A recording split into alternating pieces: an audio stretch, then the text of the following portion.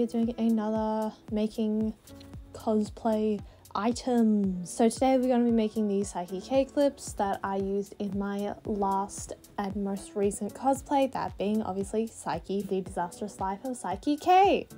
So what you'll need for this little thing, this is how to build the clips on a budget. So what you'll need is you'll need two hair clips of your choosing. I'm choosing these two barrettes as they are personally better comfort wise and they are the same color as my wig so they'll blend really nicely into the wig.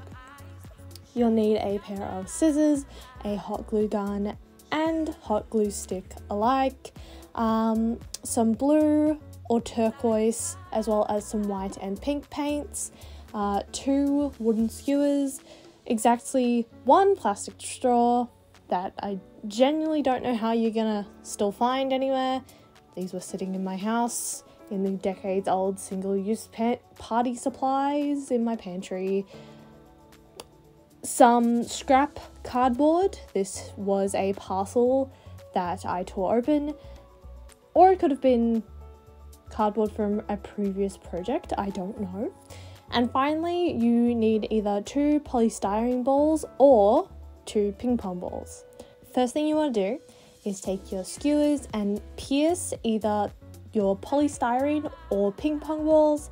The table tennis balls are made from a thin, weak plastic, so you should just be able to push the skewer through like this. You then take out said skewer, put a glob of hot glue on the end, and push it back into the ball to fully secure it.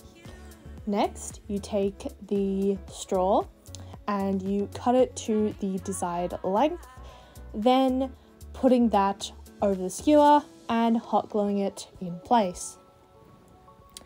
Next, what you want to do is take your clips or pin, whatever you're using to hold the Saiki clips to your head. You you'll trace around the clip onto your cardboard piece. Uh, as you can see, I'm doing this footage here, and you will cut that out. That is the base piece that you are connecting to your clips. Make sure this is slightly bigger than your clips so that if you want to piece through the clips, then that's fine. Next, what you want to do is create some bunch of triangles, just a bunch of triangles like I'm doing here. Cut those out. These will be the sides and top of your hair clip. Then what you want to do is hot glue all of that together and then wait for it to dry. While you're waiting, you get to paint the ping pong polystyrene ball of choice and paint it a nice sort of coral-ish salmon pink, I guess. Yeah. Uh, making sure to also paint the straws white if they are not white already. As you can see, I painted the pink straws white, so yeah. Then what you want to do is paint the hair clip pieces themselves white. Uh, before that, what you might want to do is to flatten the edges that you've glued down uh, with the nozzle of the hot glue gun. I knew I had to do that because it just did not end up looking all that well. Uh, after that, you want to paint it white, obviously, and then paint on the finer details in teal or turquoise.